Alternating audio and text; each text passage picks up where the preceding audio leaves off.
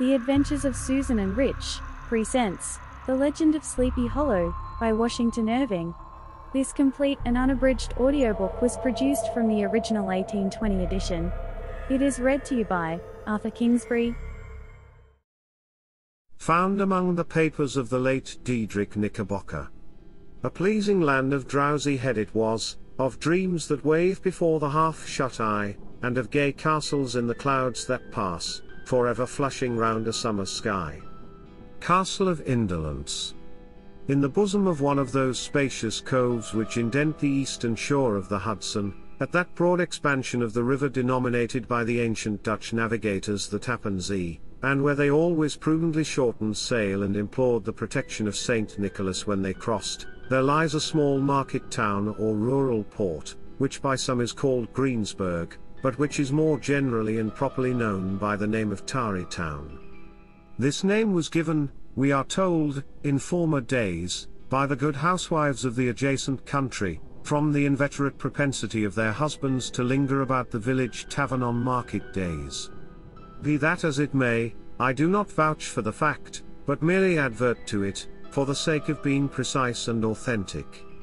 Not far from this village, perhaps about two miles, there is a little valley or rather lap of land among high hills, which is one of the quietest places in the whole world. A small brook glides through it, with just murmur enough to lull one to repose, and the occasional whistle of a quail or tapping of a woodpecker is almost the only sound that ever breaks in upon the uniform tranquility. I recollect that, when a stripling, my first exploit in squirrel shooting was in a grove of tall walnut trees that shades one side of the valley. I had wandered into it at noontime, when all nature is peculiarly quiet, and was startled by the roar of my own gun, as it broke the Sabbath stillness around and was prolonged and reverberated by the angry echoes.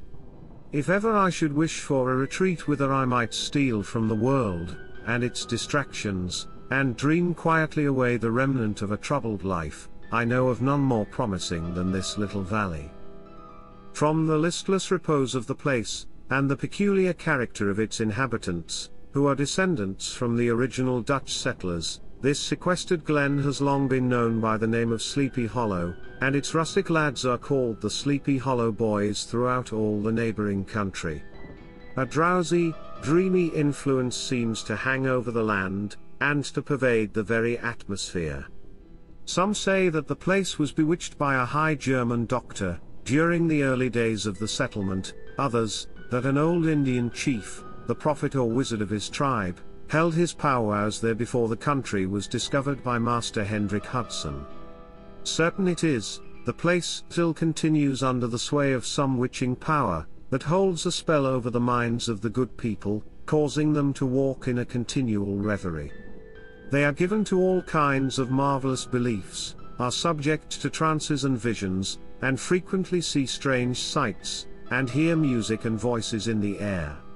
The whole neighborhood abounds with local tales, haunted spots, and twilight superstitions, stars shoot and meteors glare oftener across the valley than in any other part of the country, and the nightmare, with her whole ninefold, seems to make it the favorite scene of her gambols. The dominant spirit, however, that haunts this enchanted region, and seems to be commander-in-chief of all the powers of the air, is the apparition of a figure on horseback, without a head. It is said by some to be the ghost of a Hessian trooper, whose head had been carried away by a cannon ball, in some nameless battle during the Revolutionary War, and who is ever and anon seen by the country folk hurrying along in the gloom of night, as if on the wings of the wind. His haunts are not confined to the valley, but extend at times to the adjacent roads, and especially to the vicinity of a church at no great distance. Indeed, certain of the most authentic historians of those parts, who have been careful in collecting and collating the floating facts concerning this spectre, allege that the body of the trooper having been buried in the churchyard, the ghost rides forth to the scene of battle in nightly quest of his head, and that the rushing speed with which he sometimes passes along the hollow, like a midnight blast, is owing to his being belated, and in a hurry to get back to the churchyard before daybreak. Such is the general purport of this legendary superstition, which has furnished materials for many a wild story in that region of shadows, and the spectre is known at all the country firesides, by the name of the Headless Horseman of Sleepy Hollow. It is remarkable that the visionary propensity I have mentioned is not confined to the native inhabitants of the valley, but is unconsciously imbibed by every one who resides there for a time. However wide awake they may have been before they entered that sleepy region, they are sure, in a little time, to inhale the witching influence of the air, and begin to grow imaginative, to dream dreams, and see apparitions. I mention this peaceful spot with all possible Lord, for it is in such little retired Dutch valleys, found here and there embosomed in the great state of New York, that population, manners, and customs remain fixed, while the great torrent of migration and improvement, which is making such incessant changes in other parts of this restless country, sweeps by them unobserved. They are like those little nooks of still water, which border a rapid stream, where we may see the straw and bubble riding quietly at anchor, or slowly revolving in there mimic harbor, undisturbed by the rush of the passing current. Though many years have elapsed since I trod the drowsy shades of Sleepy Hollow, Yet I question whether I should not still find the same trees and the same families vegetating in its sheltered bosom.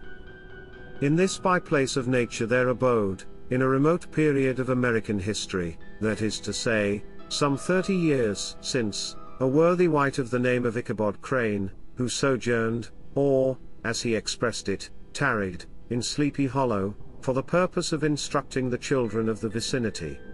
He was a native of Connecticut, a state which supplies the Union with pioneers for the mind as well as for the forest, and sends forth yearly its legions of frontier woodmen and country schoolmasters. The cognomen of Crane was not inapplicable to his person. He was tall, but exceedingly lank, with narrow shoulders, long arms and legs, hands that dangled a mile out of his sleeves, feet that might have served for shovels, and his whole frame most loosely hung together. His head was small, and flat at top, with huge ears, large green glassy eyes, and a long snipe nose, so that it looked like a weathercock perched upon his spindle neck to tell which way the wind blew. To see him striding along the profile of a hill on a windy day, with his clothes bagging and fluttering about him, one might have mistaken him for the genius of famine descending upon the earth, or some scarecrow eloped from a cornfield. His schoolhouse was a low building of one large room, rudely constructed of logs, the windows partly glazed, and partly patched with leaves of old copybooks. It was most ingeniously secured at vacant hours, by a withe twisted in the handle of the door, and stakes set against the window shutters, so that though a thief might get in with perfect ease, he would find some embarrassment in getting out, an idea most probably borrowed by the architect, Joost van Houten, from the mystery of an eel pot. The schoolhouse stood in a rather lonely but pleasant situation, just at the foot of a woody hill, with a brook running close by, and a formidable birch tree growing at one end of it. From hence the low murmur of his pupils' voices, conning over their lessons, might be heard in a drowsy summer's day, like the hum of a beehive, interrupted now and then by the authoritative voice of the master, in the tone of menace or command, or, peradventure, by the appalling sound of the birch, as he urged some tardy loiterer along the flowery path of knowledge. Truth to say, he was a conscientious man, and ever bore in mind the golden maxim, spare the rod and spoil the child. Ichabod Crane's scholars certainly were not spoiled.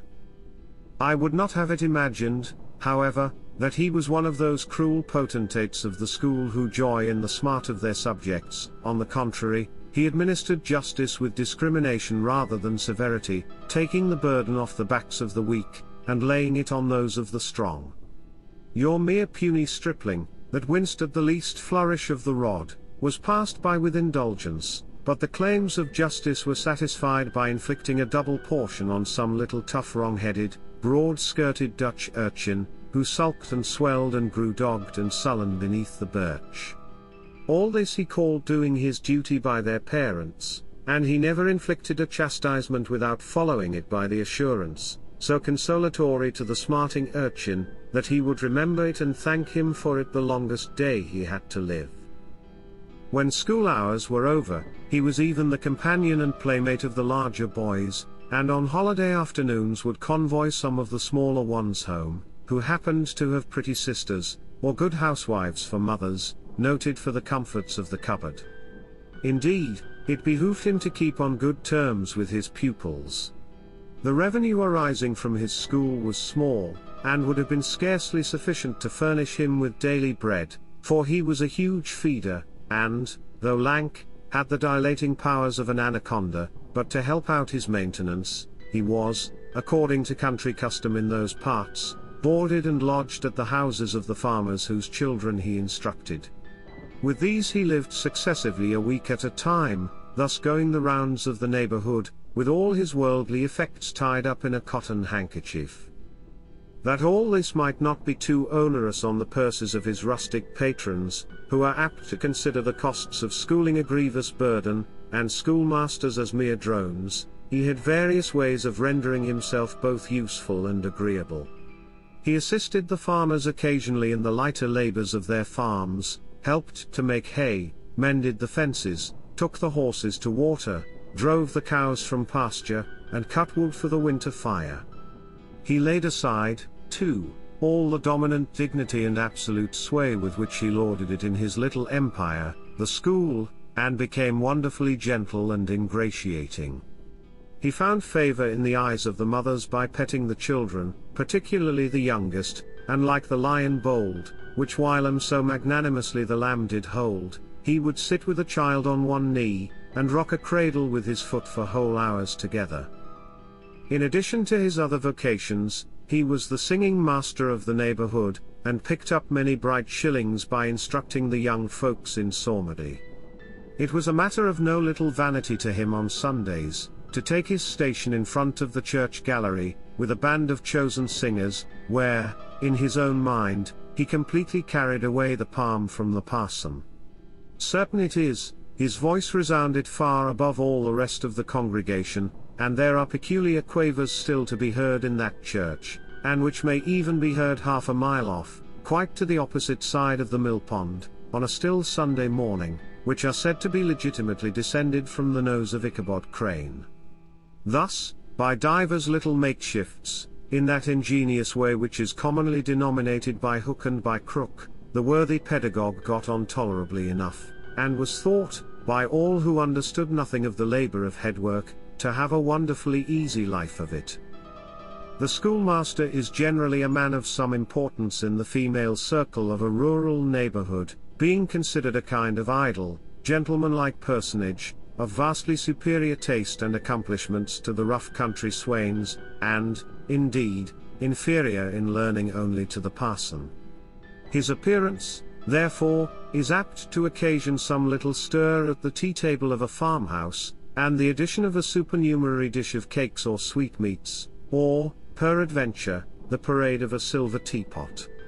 Our man of letters, therefore, was peculiarly happy in the smiles of all the country damsels. How he would figure among them in the churchyard, between services on Sundays, gathering grapes for them from the wild vines that overran the surrounding trees, reciting for their amusement all the epitaphs on the tombstones, or sauntering, with a whole bevy of them, along the banks of the adjacent mill pond, while the more bashful country bumpkins hung sheepishly back, envying his superior elegance and address. From his half itinerant life, also, he was a kind of traveling gazette, carrying the whole budget of local gossip from house to house, so that his appearance was always greeted with satisfaction.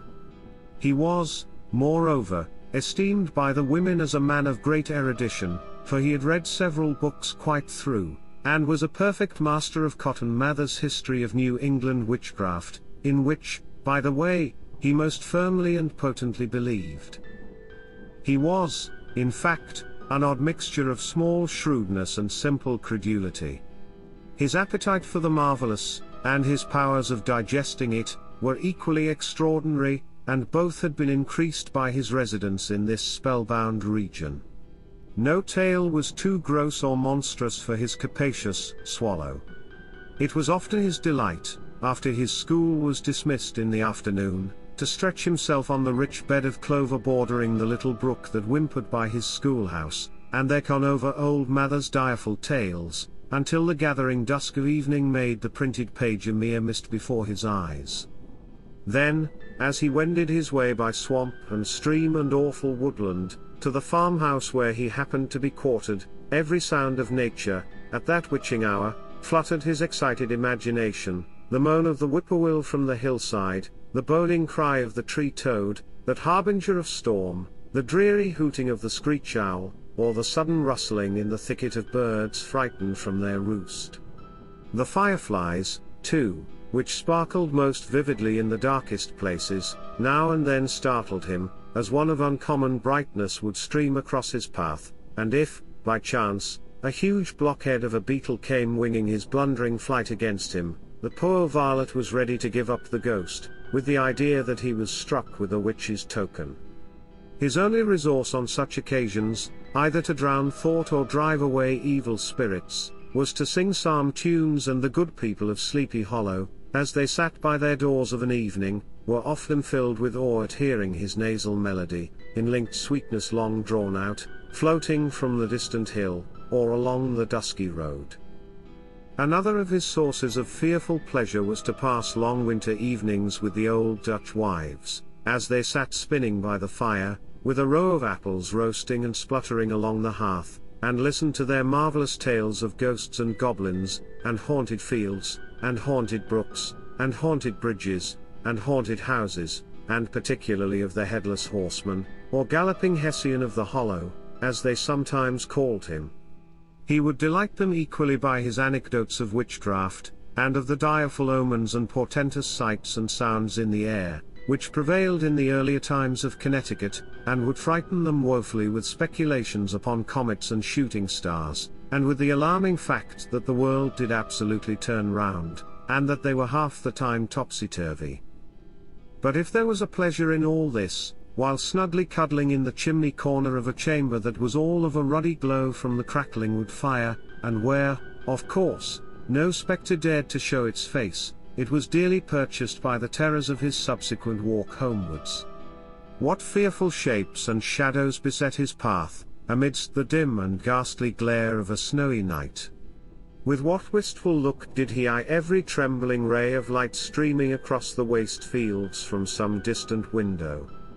How often was he appalled by some shrub covered with snow, which, like a sheeted spectre, beset his very path?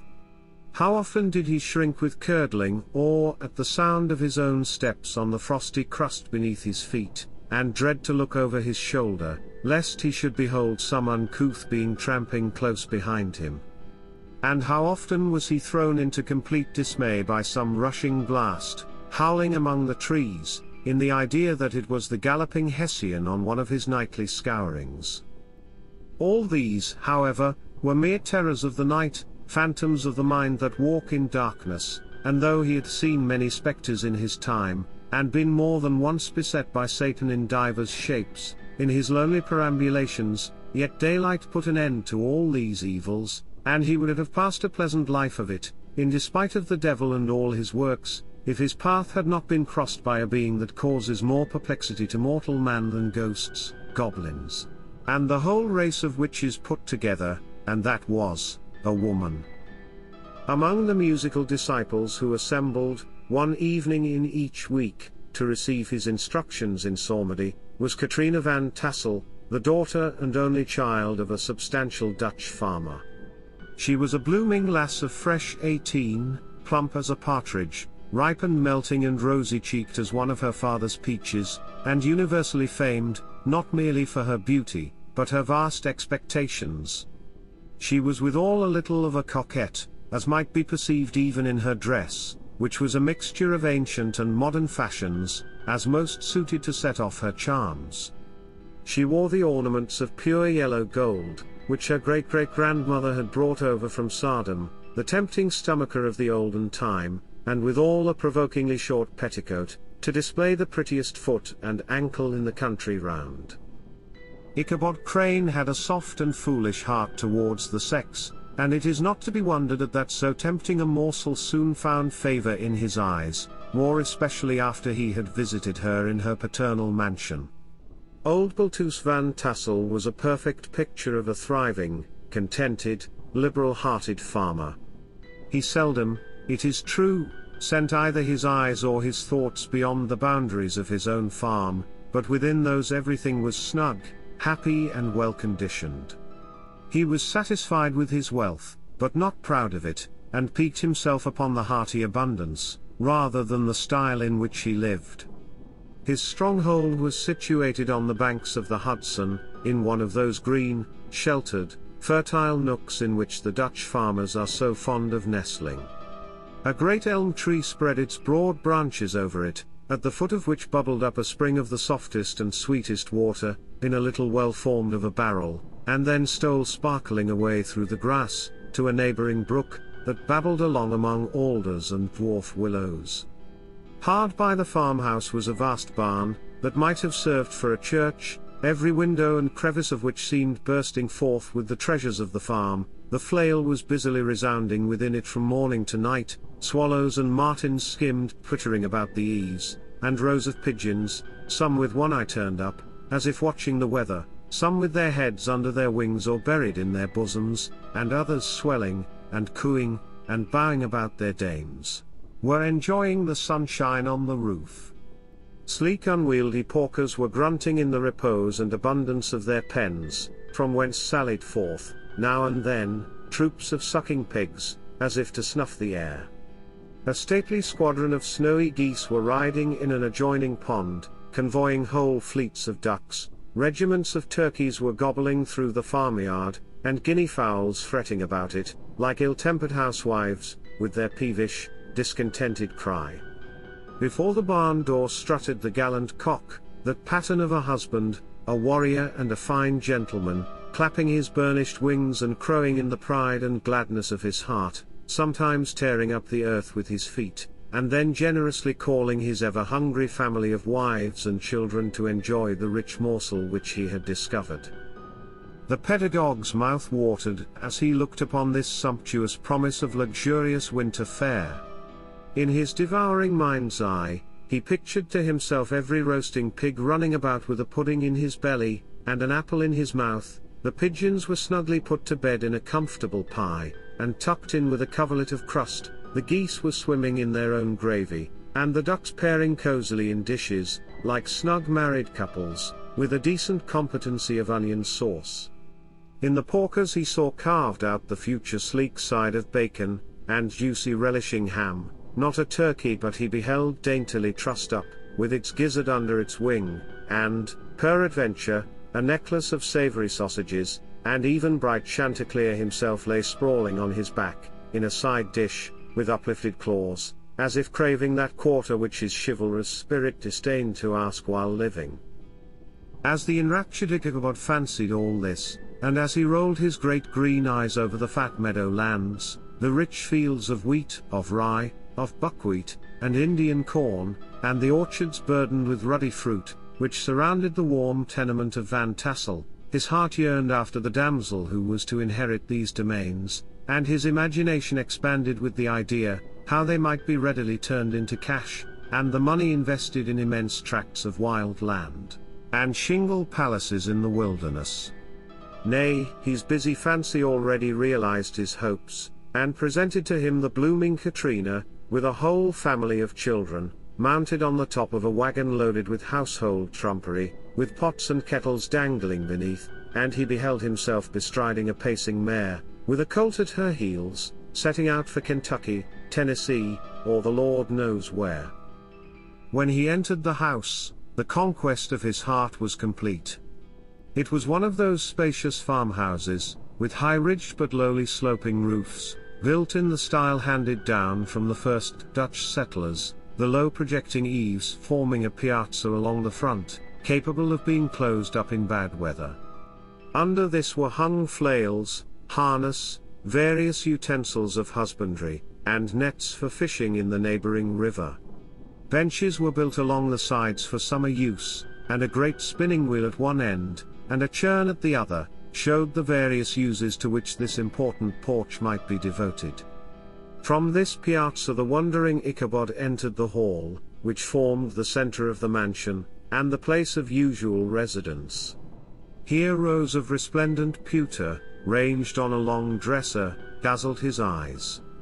In one corner stood a huge bag of wool, ready to be spun, in another, a quantity of linsey woolsey just from the loom, ears of Indian corn, and strings of dried apples and peaches, hung in gay festoons along the walls, mingled with the gourd of red peppers, and a door left ajar gave him a peep into the best parlor, where the claw-footed chairs and dark mahogany tables shone like mirrors, andirons, with their accompanying shovel and tongs, glistened from their cover of asparagus tops. Mock oranges and conch shells decorated the mantelpiece, strings of various colored birds' eggs were suspended above it, a great ostrich egg was hung from the center of the room, and a corner cupboard, knowingly left open, displayed immense treasures of old silver and well-mended china. From the moment Ichabod laid his eyes upon these regions of delight, the peace of his mind was at an end, and his only study was how to gain the affections of the peerless daughter of Van Tassel.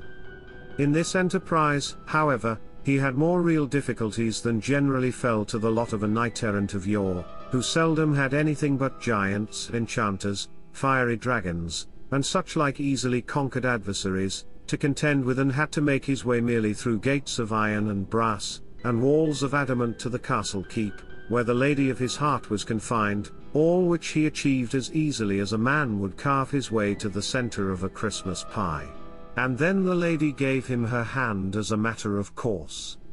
Ichabod, on the contrary, had to win his way to the heart of a country coquette, beset with a labyrinth of whims and caprices, which were forever presenting new difficulties and impediments, and he had to encounter a host of fearful adversaries of real flesh and blood, the numerous rustic admirers, who beset every portal to her heart, keeping a watchful and angry eye upon each other, but ready to fly out in the common cause against any new competitor.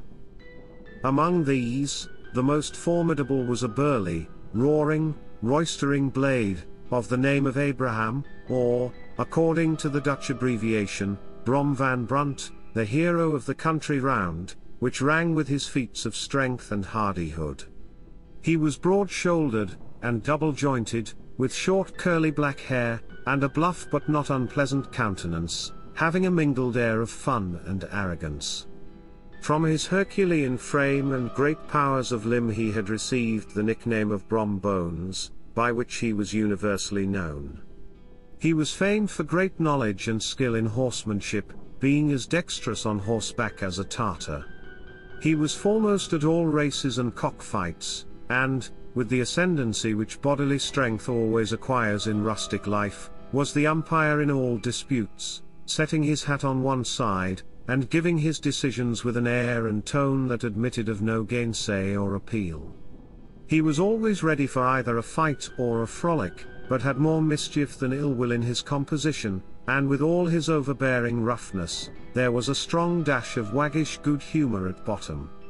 He had three or four boon companions, who regarded him as their model, and at the head of whom he scoured the country, attending every scene of feud or merriment for miles round. In cold weather he was distinguished by a fur cap, surmounted with a flaunting fox's tail, and when the folks at a country gathering descried this well-known crest at a distance, whisking about among a squad of hard riders, they always stood by for a squall. Sometimes his crew would be heard dashing along past the farmhouses at midnight, with whoop and hullo, like a troop of Don Cossacks, and the old dames, startled out of their sleep, would listen for a moment till the hurry-scurry had clattered by, and then exclaim, Eh, there goes Brom Bones and his gang. The neighbors looked upon him with a mixture of awe, admiration, and goodwill, and, when any madcap, prank or rustic brawl occurred in the vicinity, always shook their heads, and warranted Brom Bones was at the bottom of it.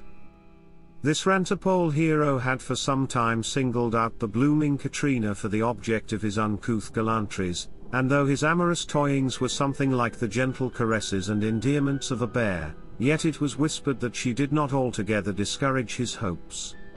Certain it is, His advances were signals for rival candidates to retire, who felt no inclination to cross a lion in his amours, insomuch, that when his horse was seen tied to Van Tassel's paling, on a Sunday night, a sure sign that his master was courting, or, as it is termed, sparking, within, all other suitors passed by in despair, and carried the war into other quarters.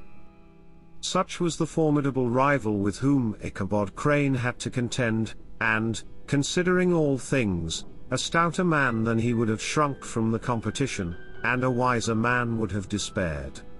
He had, however, a happy mixture of pliability and perseverance in his nature, he was in form and spirit like a supple jack, yielding, but tough, though he bent, he never broke, and though he bowed beneath the slightest pressure, yet, the moment it was away, jerk. He was as erect, and carried his head as high as ever.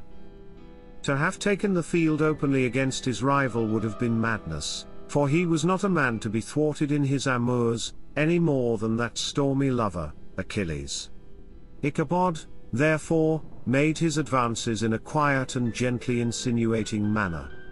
Under cover of his character of singing master, he made frequent visits at the farmhouse, not that he had anything to apprehend from the meddlesome interference of parents, which is so often a stumbling block in the path of lovers.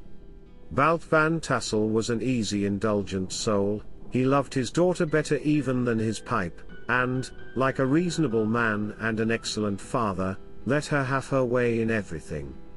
His notable little wife, too, had enough to do to attend to her housekeeping and manage her poultry, for, as she sagely observed, ducks and geese are foolish things, and must be looked after, but girls can take care of themselves.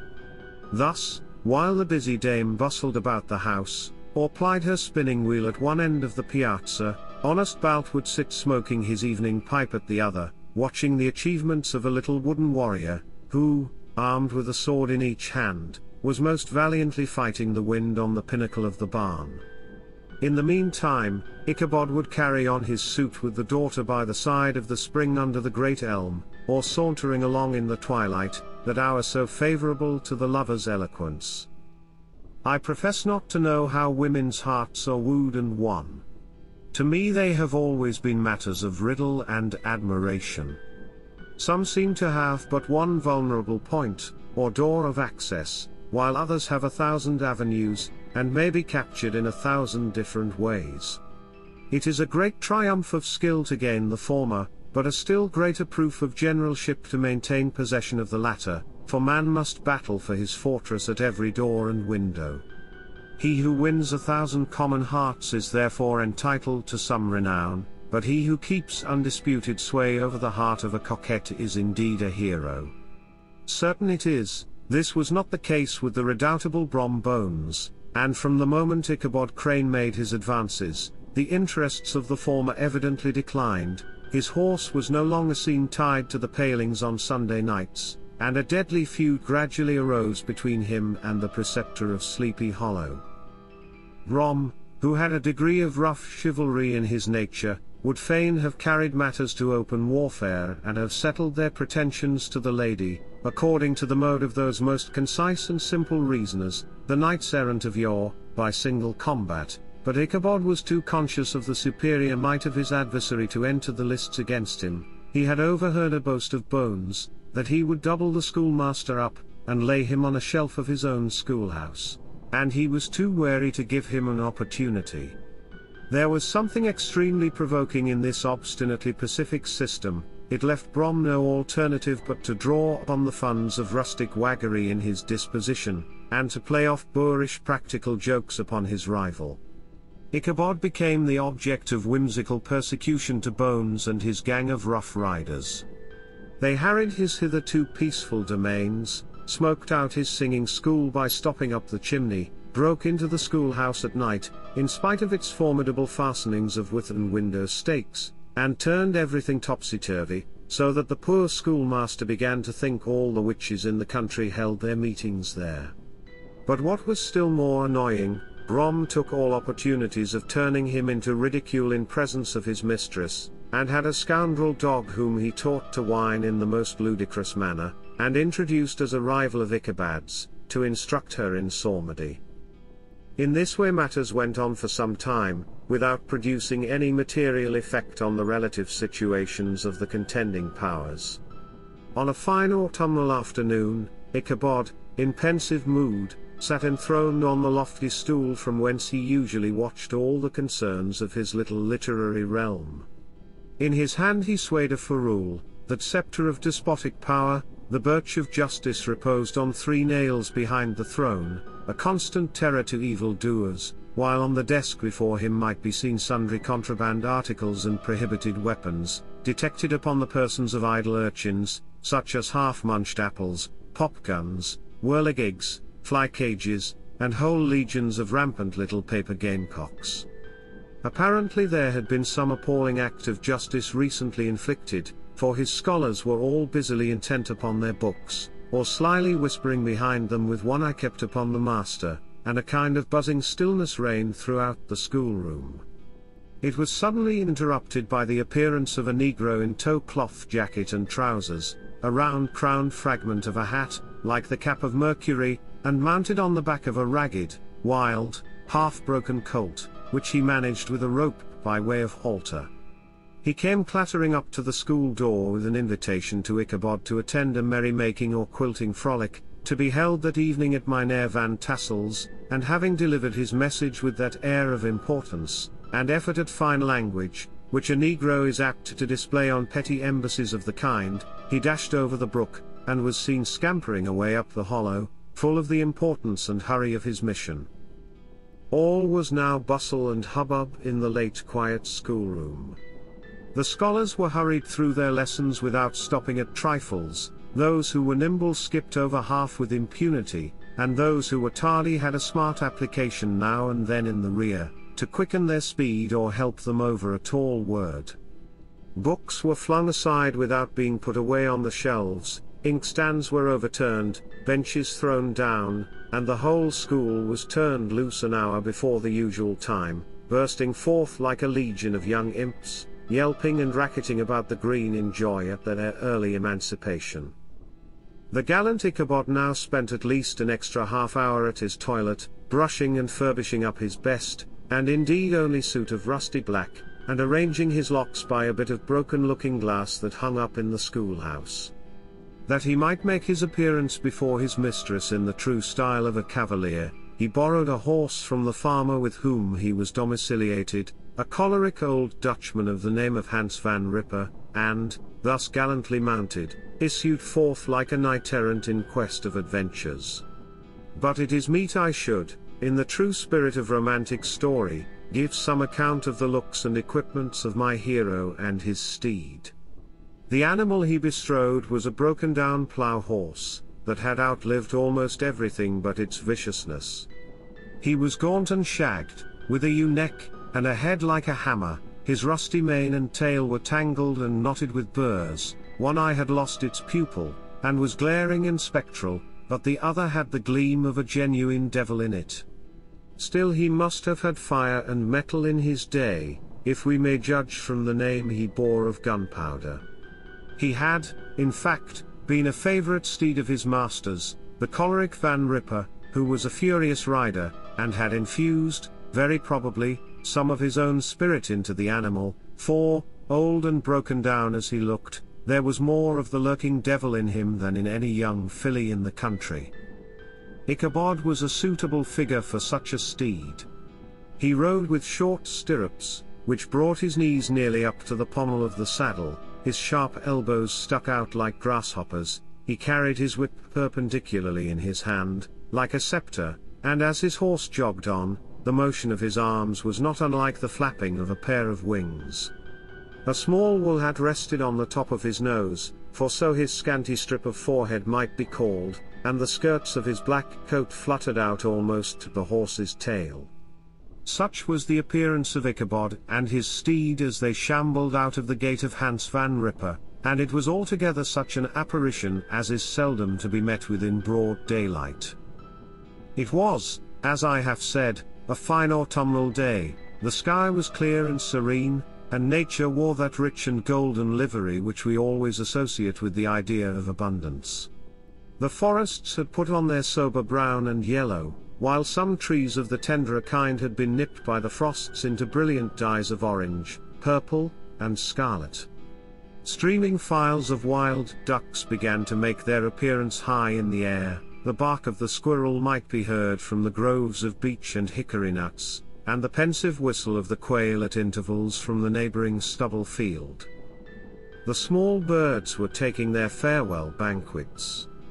In the fullness of their revelry, they fluttered, chirping and frolicking from bush to bush, and tree to tree, capricious from the very profusion and variety around them.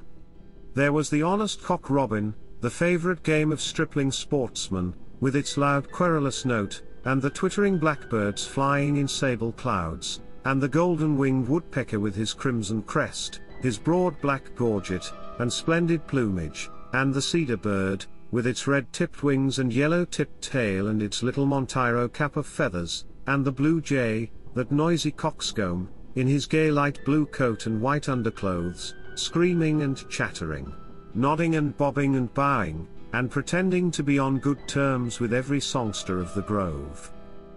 As Ichabod jogged slowly on his way, his eye, ever open to every symptom of culinary abundance, ranged with delight over the treasures of jolly autumn. On all sides he beheld vast store of apples, some hanging in oppressive opulence on the trees, some gathered into baskets and barrels for the market, others heaped up in rich piles for the cider press. Farther on he beheld great fields of Indian corn, with its golden ears peeping from their leafy covers, and holding out the promise of cakes and hasty pudding, and the yellow pumpkins lying beneath them, turning up their fair round bellies to the sun, and giving ample prospects of the most luxurious of pies, and anon he passed the fragrant buckwheat fields breathing the odour of the beehive, and as he beheld them, soft anticipations stole over his mind of dainty slapjacks, well buttered, and garnished with honey or treacle, by the delicate little dimpled hand of Katrina Van Tassel. Thus feeding his mind with many sweet thoughts and sugared suppositions, he journeyed along the sides of a range of hills which look out upon some of the goodliest scenes of the mighty Hudson. The sun gradually wheeled his broad disk down in the west. The wide bosom of the Tappan Zee lay motionless and glassy, excepting that here and there a gentle undulation waved and prolonged the blue shadow of the distant mountain. A few amber clouds floated in the sky, without a breath of air to move them. The horizon was of a fine golden tint, changing gradually into a pure apple green, and from that into the deep blue of the mid-heaven. A slanting ray lingered on the woody crests of the precipices that overhung some parts of the river, giving greater depth to the dark grey and purple of their rocky sides. A sloop was loitering in the distance, dropping slowly down with the tide, her sail hanging uselessly against the mast, and as the reflection of the sky gleamed along the still water, it seemed as if the vessel was suspended in the air. It was toward evening that Ichabod arrived at the castle of the Heer Van Tassel, which he found thronged with the pride and flower of the adjacent country. Old farmers, a spare leathern-faced race, in homespun coats and breeches, blue stockings, huge shoes, and magnificent pewter buckles. Their brisk, withered little dames, in close crimped caps, long-waisted short gowns, homespun petticoats, with scissors and pincushions, and gay calico pockets hanging on the outside. Buxom lasses, almost as antiquated as their mothers, excepting where a straw hat, a fine ribbon, or perhaps a white frock, gave symptoms of city innovation. The sons, in short square skirted coats, with rows of stupendous brass buttons, and their hair generally queued in the fashion of the times, especially if they could procure an eel skin for the purpose, it being esteemed throughout the country as a potent nourisher and strengthener of the hair. Brom Bones, however, was the hero of the scene, having come to the gathering on his favorite steed Daredevil, a creature, like himself, full of mettle and mischief, and which no one but himself could manage. He was, in fact, noted for preferring vicious animals, given to all kinds of tricks which kept the rider in constant risk of his neck, for he held a tractable, well-broken horse as unworthy of a lad of spirit. Fain would I pause to dwell upon the world of charms that burst upon the enraptured gaze of my hero, as he entered the state parlour of Van Tassel's mansion. Not those of the bevy of buxom lasses, with their luxurious display of red and white, but the ample charms of a genuine Dutch country tea table, in the sumptuous time of autumn. Such heaped up platters of cakes of various and almost indescribable kinds, known only to experienced Dutch housewives. There was the doughty doughnut, the tender olie koek, and the crisp and crumbling cruller, sweet cakes and short cakes, ginger cakes and honey cakes, and the whole family of cakes.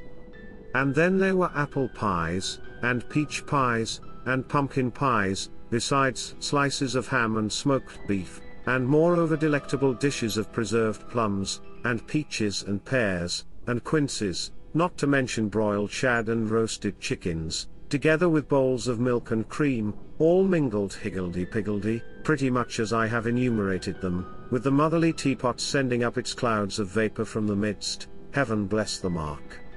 I want breath and time to discuss this banquet as it deserves, and am too eager to get on with my story. Happily, Ichabod Crane was not in so great a hurry as his historian, but did ample justice to every dainty. He was a kind and thankful creature, whose heart dilated in proportion as his skin was filled with good cheer, and whose spirits rose with eating, as some men's do with drink. He could not help, too, rolling his large eyes round him as he ate, and chuckling with the possibility that he might one day be lord of all this scene of almost unimaginable luxury and splendor. Then, he thought, how soon he'd turn his back upon the old schoolhouse, snap his fingers in the face of Hans van Ripper, and every other niggardly patron, and kick any itinerant pedagogue out of doors that should dare to call him comrade. Old Baltus van Tassel moved about among his guests with a face dilated with content and good humor, round and jolly as the harvest moon. His hospitable attentions were brief, but expressive, being confined to a shake of the hand, a slap on the shoulder, a loud laugh, and a pressing invitation to fall to, and help themselves. And now the sound of the music from the common room, or hall, summoned to the dance. The musician was an old grey-headed Negro, who had been the itinerant orchestra of the neighborhood for more than half a century. His instrument was as old and battered as himself.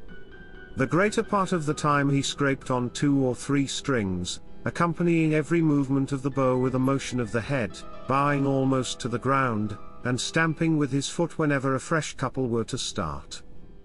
Ichabod prided himself upon his dancing as much as upon his vocal powers. Not a limb, not a fibre about him was idle, and to have seen his loosely hung frame in full motion, and clattering about the room, you would have thought St. Vitus himself, that blessed patron of the dance, was figuring before you in person. He was the admiration of all the Negroes, who, having gathered, of all ages and sizes, from the farm and the neighborhood, stood forming a pyramid of shining black faces at every door and window, gazing with delight at the scene, rolling their white eyeballs, and showing grinning rows of ivory from ear to ear. How could the flogger of urchins be otherwise than animated and joyous? The lady of his heart was his partner in the dance, and smiling graciously in reply to all his amorous oglings, while Brom Bones, sorely smitten with love and jealousy, sat brooding by himself in one corner. When the dance was at an end, Ichabod was attracted to a knot of the sage of folks, who, with old Van Tassel, sat smoking at one end of the piazza, gossiping over former times, and drawing out long stories about the war. This neighborhood, at the time of which I am speaking, was one of those highly favored places which abound with chronicle and great men. The British and American line had run near it during the war, it had, therefore, been the scene of marauding and infested with refugees, cowboys, and all kinds of border chivalry. Just sufficient time had elapsed, to enable each storyteller to dress up his tale with a little becoming fiction, and, in the indistinctness of his recollection, to make himself the hero of every exploit. There was the story of Doffue Martling, a large blue-bearded Dutchman, who had nearly taken a British frigate with an old iron nine-pounder from a mud breastwork, only that his gun burst at the sixth discharge. And there was an old gentleman who shall be nameless, being too rich a mynheer to be lightly mentioned, who, in the Battle of White Plains, being an excellent master of defense, parried a musket ball with a small sword, insomuch that he absolutely felt it was round the blade, and glance off at the hilt, in proof of which he was ready at any time to show the sword, with the hilt a little bent. There were several more that had been equally great in the field, not one of whom but was persuaded that he had a considerable hand in bringing the war to a happy termination. But all these were nothing to the tales of ghosts and apparitions that succeeded. The neighborhood is rich in legendary treasures of the kind. Local tales and superstitions thrive best in these sheltered, long settled retreats, but are trampled underfoot by the shifting throng that forms the population of most of our country places. Besides, there is no encouragement for ghosts in most of our villages, for they have scarcely had time to finish their first nap and turn themselves in their graves, before their surviving friends have traveled away from the neighborhood, so that when they turn out at night to walk their rounds, they have no acquaintance left to call upon. This is perhaps the reason why we so seldom hear of ghosts except in our long established Dutch communities.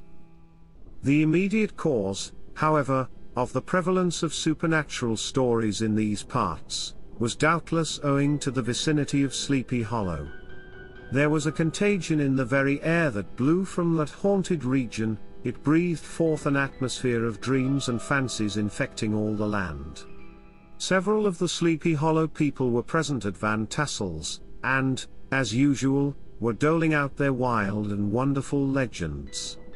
Many dismal tales were told about funeral trains, and mourning cries and wailings heard and seen about the great tree where the unfortunate Major Andre was taken, and which stood in the neighborhood. Some mention was made also of the woman in white, that haunted the dark glen at Raven Rock, and was often heard to shriek on winter nights before a storm, having perished there in the snow. The chief part of the stories, however, turned upon the favorite spectre of Sleepy Hollow, the headless horseman, who had been heard several times of late, patrolling the country, and, it was said, tethered his horse nightly among the graves in the churchyard. The sequestered situation of this church seems always to have made it a favorite haunt of troubled spirits. It stands on a knoll, surrounded by locust trees and lofty elms, from among which its decent, Whitewashed walls shine modestly forth, like Christian purity beaming through the shades of retirement. A gentle slope descends from it to a silver sheet of water, bordered by high trees, between which, peeps may be caught at the blue hills of the Hudson. To look upon its grass-grown yard, where the sunbeams seem to sleep so quietly, one would think that there at least the dead might rest in peace. On one side of the church extends a wide woody dell, along which raves a large brook among broken rocks and trunks of fallen trees. Over a deep, black part of the stream, not far from the church, was formerly thrown a wooden bridge, the road that led to it, and the bridge itself, were thickly shaded by overhanging trees, which cast a gloom about it, even in the daytime, but occasioned a fearful darkness at night. Such was one of the favorite haunts of the headless horseman, and the place where he was most frequently encountered. The tale was told of old Brower, a most heretical disbeliever in ghosts, how he met the horseman returning from his foray into Sleepy Hollow, and was obliged to get up behind him, how they galloped over bush and brake, over hill and swamp, until they reached the bridge, when the horseman suddenly turned into a skeleton, threw old Brower into the brook, and sprang away over the treetops with a clap of thunder. This story was immediately matched by a thrice marvelous adventure of Brom Bones, who made light of the galloping Hessian, as an arrant jockey. He affirmed that on returning one night from the neighboring village of Sing Sing, he had been overtaken by this midnight trooper, that he had offered to race with him for a bowl of punch, and should have won it too, for Daredevil beat the goblin horse all hollow, but just as they came to the church bridge, the Hessian bolted, and vanished in a flash of fire. All these tales, told in that drowsy undertone with which men talk in the dark, the countenances of the listeners only now and then receiving a casual gleam from the glare of a pipe, sank deep in the mind of Ichabod. He repaid them in kind with large extracts from his invaluable author, Cotton Mather, and added many marvelous events that had taken place in his native state of Connecticut, and fearful sights which he had seen in his nightly walks about Sleepy Hollow. The revel now gradually broke up. The old farmers gathered together their families in their wagons, and were heard for some time rattling along the hollow roads, and over the distant hills. Some of the damsels mounted on pillions behind their favourite swains, and their light-hearted laughter, mingling with the clatter of hoofs, echoed along the silent woodlands, sounding fainter and fainter, until they gradually died away, and the late scene of noise and frolic was all silent, and deserted.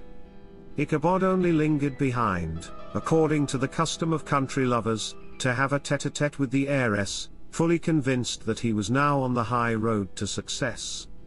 What passed at this interview I will not pretend to say, for in fact I do not know. Something, however, I fear me, must have gone wrong, for he certainly sallied forth, after no very great interval, with an air quite desolate and chapfallen. Oh, these women! These women! Could that girl have been playing off any of her coquettish tricks? Was her encouragement of the poor pedagogue all a mere sham to secure her conquest of his rival? Heaven only knows, not I. Let it suffice to say, Ichabod stole forth with the air of one who had been sacking a hen roost, rather than a fair lady's heart. Without looking to the right or left to notice the scene of rural wealth, on which he had so often gloated, he went straight to the stable, and with several hearty cuffs and kicks roused his steed most uncourteously from the comfortable quarters in which he was soundly sleeping, dreaming of mountains of corn and oats, and whole valleys of timothy and clover. It was the very witching time of night that Ichabod, heavy-hearted and crestfallen, pursued his travels homewards, along the sides of the lofty hills which rise above Tarrytown, and which he had traversed so cheerily in the afternoon. The hour was as dismal as himself. Far below him the Tappan Zee spread its dusky and indistinct waste of waters, with here and there the tall mast of a sloop, riding quietly at anchor under the land. In the dead hush of midnight, he could even hear the barking of the watchdog from the opposite shore of the Hudson, but it was so vague and faint as only to give an idea of his distance from this faithful companion of man. Now and then, too, the long-drawn crowing of a cock, accidentally awakened, would sound far, far off, from some farmhouse away among the hills, but it was like a dreaming sound in his ear. No signs of life occurred near him, but occasionally the melancholy chirp of a cricket, or perhaps the guttural twang of a bullfrog from a neighboring marsh, as if sleeping uncomfortably and turning suddenly in his bed. All the stories of ghosts and goblins that he had heard in the afternoon now came crowding upon his recollection. The night grew darker and darker, the stars seemed to sink deeper in the sky, and driving clouds occasionally hid them from his sight. He had never felt so lonely and dismal. He was, moreover, approaching the very place where many of the scenes of the ghost stories had been laid. In the center of the road stood an enormous tulip tree, which towered like a giant above all the other trees of the neighborhood, and formed a kind of landmark. Its limbs were gnarled and fantastic, large enough to form trunks for ordinary trees, twisting down almost to the earth, and rising again into the air. It was connected with the tragical story of the unfortunate Andre, who had been taken prisoner hard by, and was universally known, by the name of Major Andre's tree. The common people regarded it with a mixture of respect and superstition, partly out of sympathy for the fate of its ill-starred namesake, and partly from the tales of strange sights, and doleful lamentations, told concerning it. As Ichabod approached this fearful tree, he began to whistle, he thought his whistle was answered, it was but a blast sweeping sharply through the dry branches. As he approached a little nearer, he thought he saw something white, hanging in the midst of the tree, he paused and ceased whistling but, on looking more narrowly, perceived that it was a place where the tree had been scathed by lightning, and the whitewood laid bare. Suddenly he heard a groan, his teeth chattered, and his knees smote against the saddle, it was but the rubbing of one huge bough upon another, as they were swayed about by the breeze. He passed the tree in safety, but new perils lay before him. About 200 yards from the tree, a small brook crossed the road, and ran into a marshy and thickly wooded glen, known by the name of Wiley's Swamp. A few rough logs, laid side by side, served for a bridge over this stream. On that side of the road where the brook entered the wood, a group of oaks and chestnuts, matted thick with wild grapevines, threw a cavernous gloom over it. To pass this bridge was the severest trial. It was at this identical spot that the unfortunate Andre was captured, and under the cover of those chestnuts and vines were the sturdy yeomen concealed who surprised him. This has ever since been considered a haunted stream, and fearful are the feelings of the schoolboy who has to pass it alone after dark. As he approached the stream, his heart began to thump, he summoned up, however, all his resolution, gave his horse half a score of kicks in the ribs, and attempted to dash briskly across the bridge, but instead of starting forward, the perverse old animal made a lateral movement, and ran broadside against the fence. Ichabod, whose fears increased with the delay, jerked the reins on the other side, and kicked lustily with the contrary foot, it was all in vain, his steed started, it is true, but it was only to plunge to the opposite side of the road into a thicket of brambles and alder bushes. The schoolmaster now bestowed both whip and heel upon the starveling ribs of old Gunpowder, who dashed forward, snuffling and snorting, but came to a stand just by the bridge, with a suddenness that had nearly sent his rider sprawling over his head. Just at this moment a plashy tramp, by the side of the bridge caught the sensitive ear of Ichabod. In the dark shadow of the grove, on the margin of the brook, he beheld something huge, misshapen, and towering. It stirred not, but seemed gathered up in the gloom, like some gigantic monster ready to spring upon the traveller. The hair of the affrighted pedagogue rose upon his head with terror. What was to be done? To turn and fly was now too late, and besides, what chance was there of escaping ghost or goblin, if such it was, which could ride upon the wings of the wind? Summoning up, therefore, a show of courage, he demanded in stammering accents, Who are you? He received no reply. He repeated his demand in a still more agitated voice. Still there was no answer. Once more he cudgeled the sides of the inflexible gunpowder, and, shutting his eyes, broke forth with involuntary fervor into a psalm tune. Just then the shadowy object of alarm put itself in motion, and with a scramble and a bound stood at once in the middle of the road. Though the night was dark and dismal, yet the form of the unknown might now in some degree be ascertained. He appeared to be a horseman of large dimensions, and mounted on a black horse of powerful frame. He made no offer of molestation or sociability, but kept aloof on one side of the road, jogging along on the blind side of old Gunpowder, who had now got over his fright and waywardness.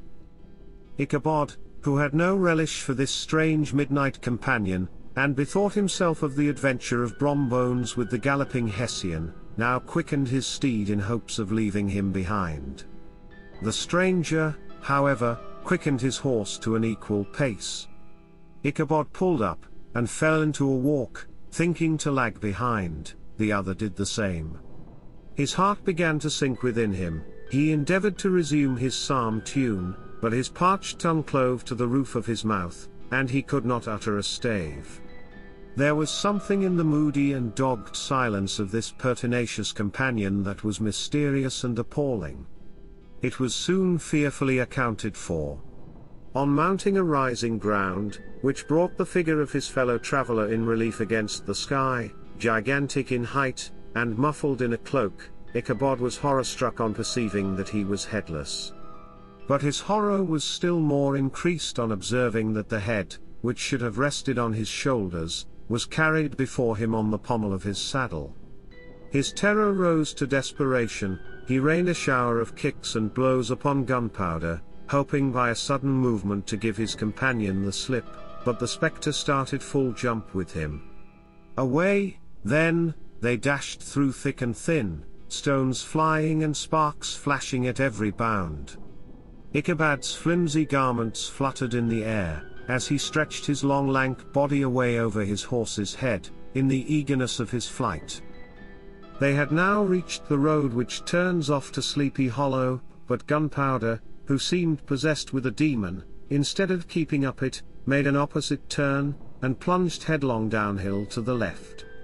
This road leads through a sandy hollow shaded by trees for about a quarter of a mile, where it crosses the bridge famous in Goblin story, and just beyond swells the green knoll on which stands the whitewashed church. As yet the panic of the steed had given his unskilful rider an apparent advantage in the chase, but just as he had got halfway through the hollow, the girths of the saddle gave way, and he felt it slipping from under him. He seized it by the pommel, and endeavored to hold it firm, but in vain, and had just time to save himself by clasping old gunpowder round the neck, when the saddle fell to the earth, and he heard it trampled underfoot by his pursuer. For a moment the terror of Hans van Ripper's wrath passed across his mind, for it was his Sunday saddle, but this was no time for petty fears, the goblin was hard on his haunches, and, unskilful rider that he was, he had much ado to maintain his seat, sometimes slipping on one side, sometimes on another, and sometimes jolted on the high ridge of his horse's backbone, with a violence that he verily feared would cleave him asunder. An opening in the trees now cheered him with the hopes that the church bridge was at hand. The wavering reflection of a silver star in the bosom of the brook told him that he was not mistaken. He saw the walls of the church dimly glaring under the trees beyond. He recollected the place where Brom Bones's ghostly competitor had disappeared. If I can but reach that bridge, thought Ichabod, I am safe. Just then he heard the black steed panting and blowing close behind him, he even fancied that he felt his hot breath. Another convulsive kick in the ribs, and old gunpowder sprang upon the bridge, he thundered over the resounding planks, he gained the opposite side, and now Ichabod cast a look behind to see if his pursuer should vanish, according to rule, in a flash of fire and brimstone. Just then he saw the goblin rising in his stirrups, and in the very act of hurling his head at him. Ichabod endeavored to dodge the horrible missile, but too late. It encountered his cranium with a tremendous crash, he was tumbled headlong into the dust, and gunpowder, the black steed, and the goblin rider, passed by like a whirlwind. The next morning the old horse was found without his saddle, and with the bridle under his feet, soberly cropping the grass at his master's gate. Ichabod did not make his appearance at breakfast, dinner hour came, but no Ichabod. The boys assembled at the schoolhouse, and strolled idly about the banks of the brook, but no schoolmaster. Hans van Ripper now began to feel some uneasiness about the fate of poor Ichabod, and his saddle. An inquiry was set on foot, and after diligent investigation they came upon his traces. In one part of the road leading to the church was found the saddle trampled in the dirt, the tracks of horses' hoofs deeply dented in the road, and evidently at furious speed, were traced to the bridge, beyond which, on the bank of a broad part of the brook, where the water ran deep and black, was found the hat of the unfortunate Ichabod, and close beside it a shattered pumpkin. The brook was searched, but the body of the schoolmaster was not to be discovered. Hans van Ripper as executor of his estate, examined the bundle which contained all his worldly effects. They consisted of two shirts and a half, two stocks for the neck, a pair or two of worsted stockings, an old pair of corduroy small clothes, a rusty razor, a book of psalm tunes full of dog's ears, and a broken pitch pipe. As to the books and furniture of the schoolhouse, they belonged to the community, excepting Cotton Mather's History of Witchcraft, a New England Almanac, and a book of dreams and fortune telling, in which last was a sheet of foolscap much scribbled and blotted in several fruitless attempts to make a copy of verses in honor of the heiress of Van Tassel. These magic books and the poetic scrawl were forthwith consigned to the flames by Hans van Ripper, who, from that time forward, determined to send his children no more to school, observing that he never knew any good come of this same reading and writing.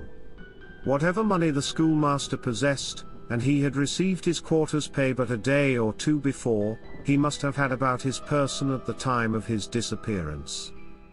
The mysterious event caused much speculation at the church on the following Sunday.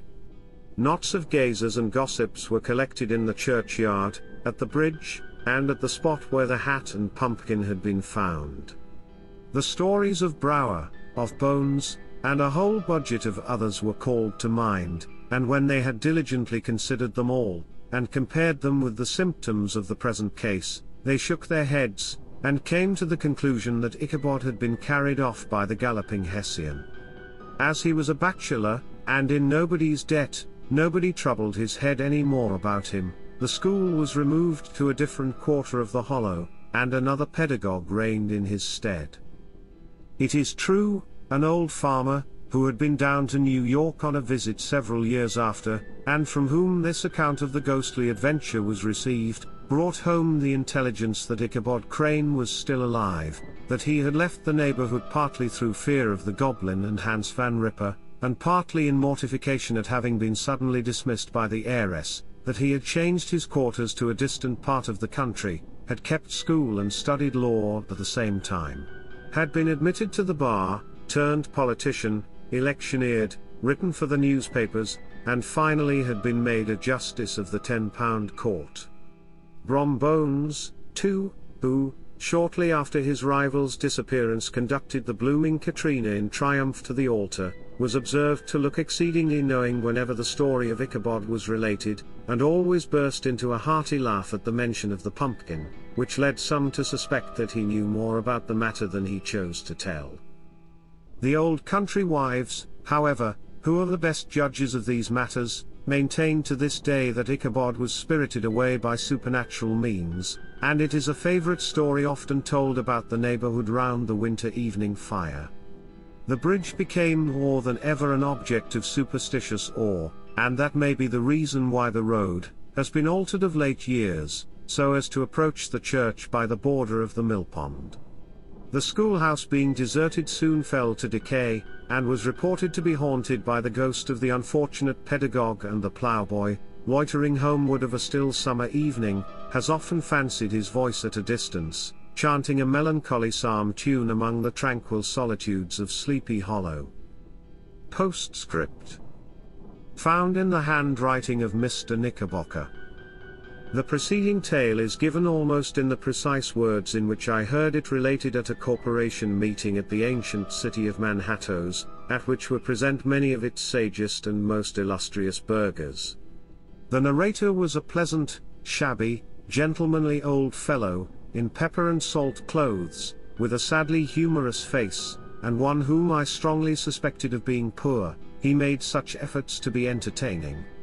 When his story was concluded, there was much laughter and approbation, particularly from two or three deputy aldermen, who had been asleep the greater part of the time.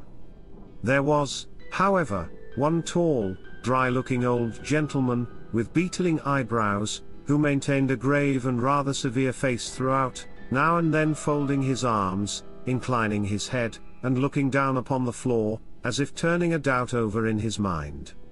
He was one of your wary men, who never laugh but upon good grounds, when they have reason and law on their side. When the mirth of the rest of the company had subsided, and silence was restored, he leaned one arm on the elbow of his chair, and sticking the other akimbo, demanded, with a slight, but exceedingly sage motion of the head, and contraction of the brow, what was the moral of the story, and what it went to prove.